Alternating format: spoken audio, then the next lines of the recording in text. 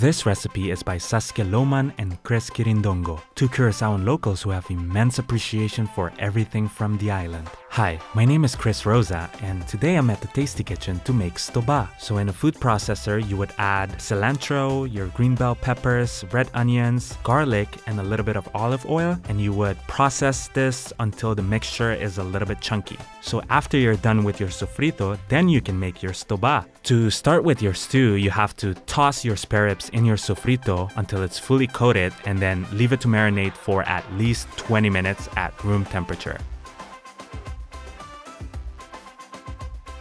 Plantains are very popular in the Caribbean, so I'm creating a shredded plantain bedding for our stew. And as a true Curaçaoan would say, it's like un plato criollo, meaning it's a Creole dish stemming mostly from our African heritage as well as other cultural influences that makes Curaçao one of the most multicultural hubs in the Caribbean.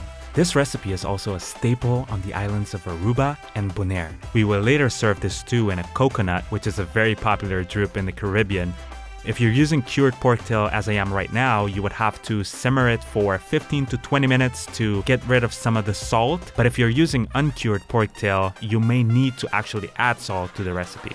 And at this point, we're adding some coconut oil, garlic, and onions to our pot and cook them until they're a little bit brown and fragrant.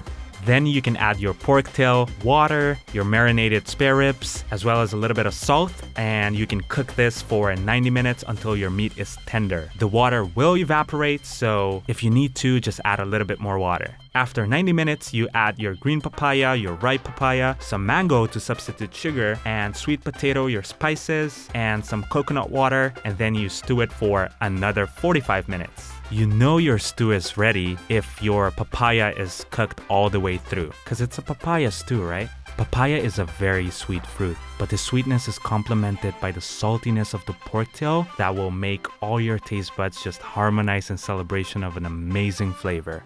For this recipe, we're not wasting anything. So I'm also baking off my papaya seeds and use them as a garnish for my stew. To maximize the island effect, we're serving our stew in a coconut with our baked plantain wrap. You know, my grandma in Curacao has no idea what tasty or the internet is. But this is as delicious as the papaya that my grandma used to make me as a kid. So grandma, if you ever see this, I love you. Oh, yes!